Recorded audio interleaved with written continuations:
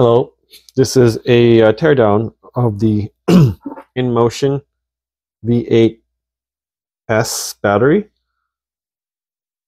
As you can see from the label here, it is a 72 volt battery, 320 watt hours, and the input voltage is 84 volt. So let's go and tear this up. First, quickly check the voltage. Nothing. if you can see that. And then let's check out the charge port. So it's nothing. So I don't have much hope for this battery. It's mostly just for curiosity's sake to see what's inside. All right, let's remove the cover.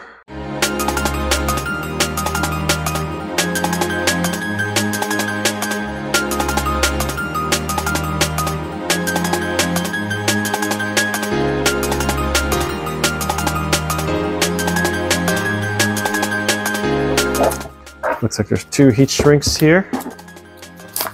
This one.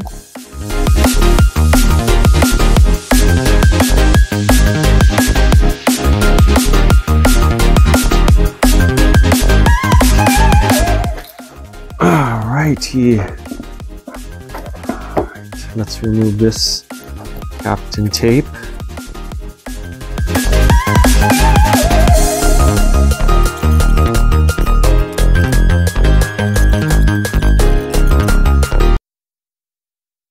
Yep. 72 divided by 3.6, 20, 20S. 20S, two parallel.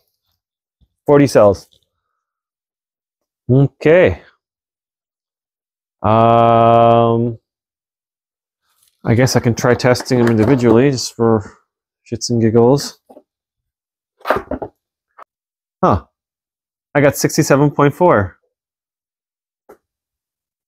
67.4 but there's nothing coming out of the BMS.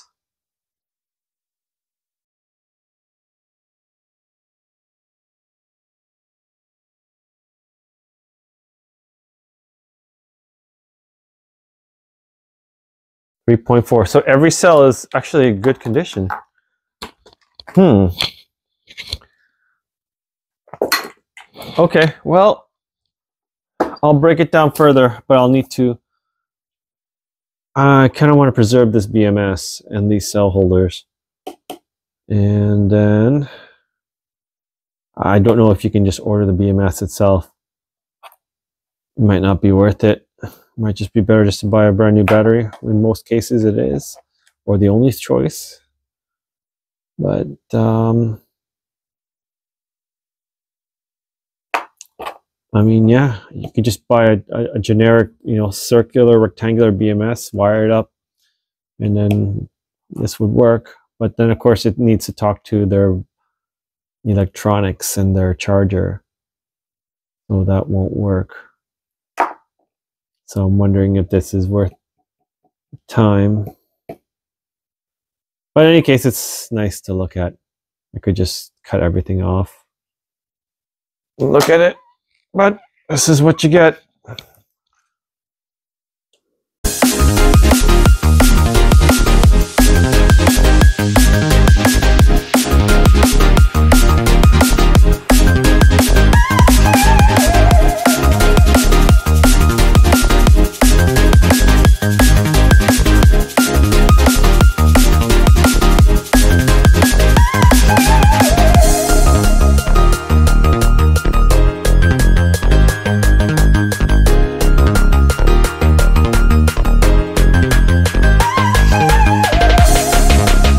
Temperature sensor right here.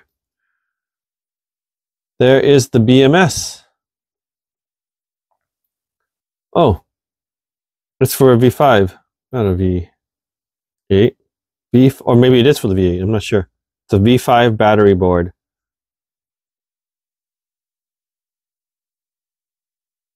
Fuse is still there. All the connections look look good data wire here. XT60 balance probably.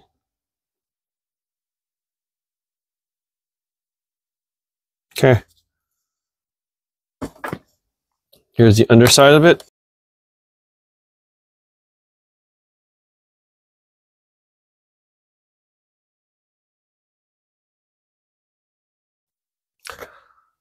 And there's the other side of the nickel strips behind the BMS capture.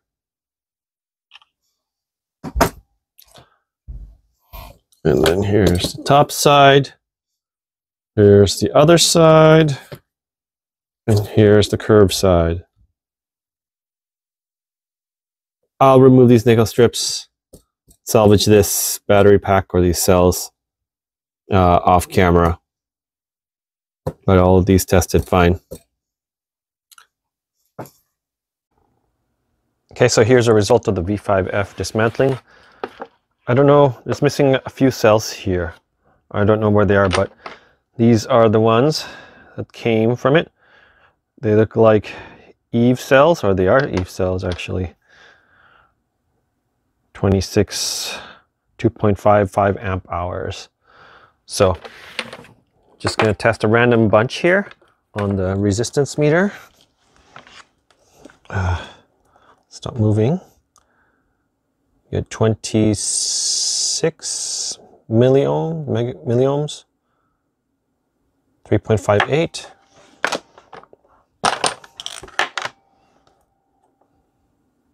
Twenty-six milliohms, four point zero five.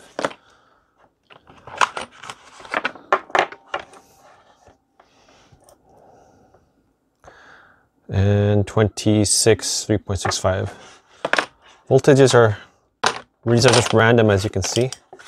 Slightly different but not a huge amount. 3.64 25 so they all pretty much tested like that. And I capacity tested a, a few.